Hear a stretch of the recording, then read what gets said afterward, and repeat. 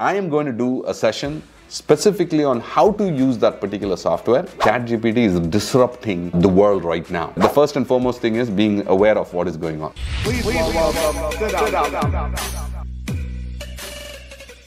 Hello and வணக்கம். Thank you again for tuning in சூப்பரான ஒரு கேள்வி. எல்லாமே உலகத்தில் கேட்டுட்டு இருக்கிற கேள்வி இது. சாட் ஜிபிடினா என்ன? சாட் ஜிபிடினா என்னன்னு சொல்லி. சாட் ஜிபிடினா என்னன்னு தெரியாதவங்களுக்கு வந்து இது வந்து just quick titbit chat ஜிபிடிங்கிறது வந்து it is the most searched software right now in the world for you to get on to the chat GPT we can first of all go ahead, figure out what is ChatGPT, research on ChatGPT. You can go to openai.com and you can figure out what is ChatGPT.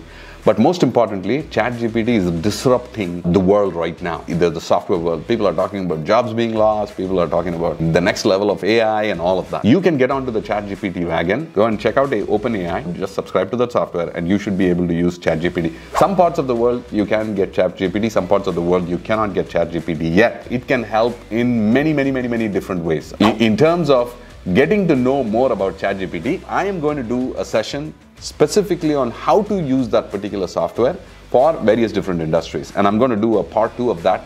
But for you to get onto the bandwagon of ChatGPT, if you have not looked at what is ChatGPT, please go ahead and take a look at it. It can be useful for students, entrepreneurs, anybody for that matter. It can utilize Chat. Whether you're a school student, college student, parent, you're an employee of an organization, at whatever level, different levels of careers.